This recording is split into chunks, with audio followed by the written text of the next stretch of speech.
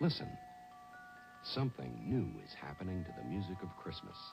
Something young and warm and wonderful. With a today kind of spirit. Herb Alpert and the Tijuana Brass are part of it. So is Sergio Mendes and Brasil 66.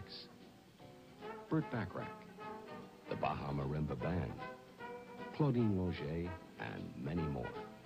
Their message, something festive. A great new stereo album from B.F. Goodrich, created especially for BFG by Herb Alpert and A&M Records. Your favorite holiday sounds, recorded by some of your favorite people. It's an album you'll want for yourself, a gift you'll want for others. It's only $1.29 at any B.F. Goodrich or Rayco outlet. But hurry, the edition is limited. Get yours now and make your Christmas something festive.